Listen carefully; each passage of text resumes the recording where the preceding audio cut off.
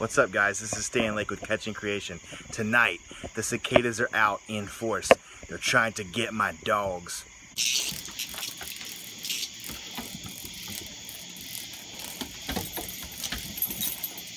Or not, my dogs just heard something that made noise and they tried to play with it and it flew away. This guy.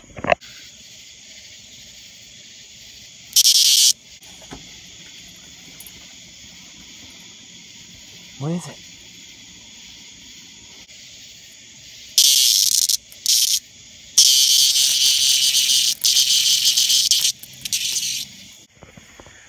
Take me to your leader.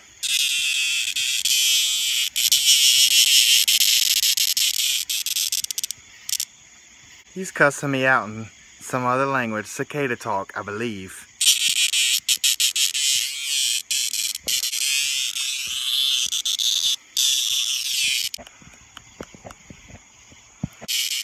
No, don't eat him.